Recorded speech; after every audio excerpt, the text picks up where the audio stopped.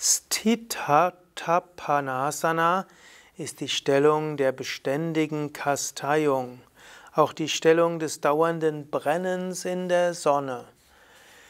Im alten Indien gab es auch sogenannte Tapasvins, Asketen, und es gibt verschiedene Formen von Askesen.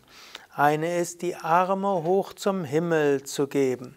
Und das kannst du aus irgendeiner kreuzbeinigen Stellung heraus machen und dann die Arme nach oben geben. Natürlich, wenn du die Arme nach oben gibst, kannst du dir auch vorstellen, dass von oben Licht und Energie in dich hineinströmt.